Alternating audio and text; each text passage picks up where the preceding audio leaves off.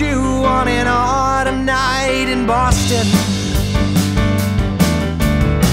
You made it clear that you were spoken for.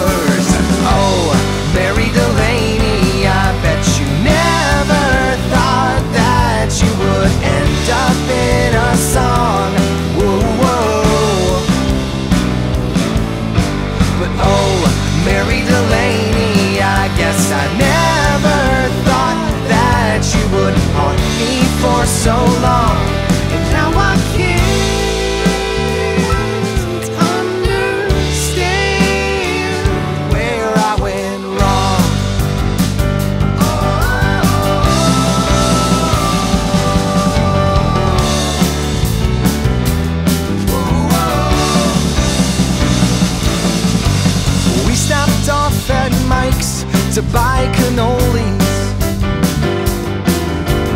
Line stretched out the door above the cobblestone.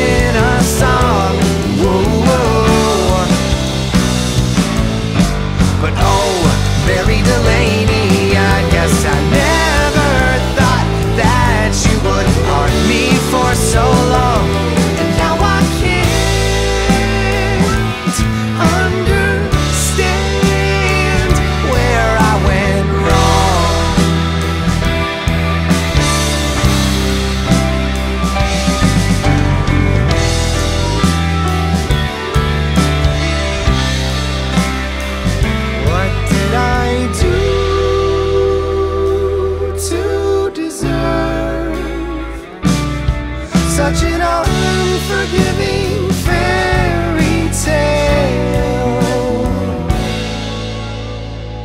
Or could it?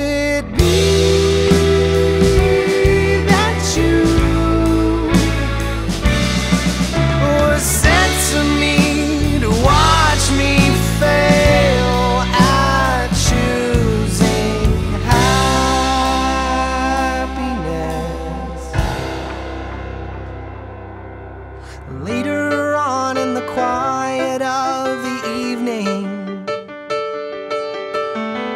drinking gin and tonics at a tiny hotel bar. You and I both knew that we would never be together. And sometimes I still wonder if we both were.